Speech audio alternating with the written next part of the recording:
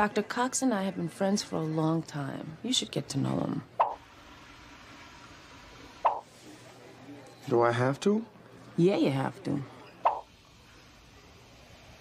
In case you were wondering, it says, if you can read this, you're standing too close.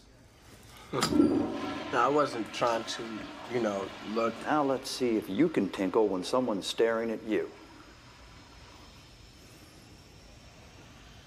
Yeah, go ahead and take your time. I actually have all day.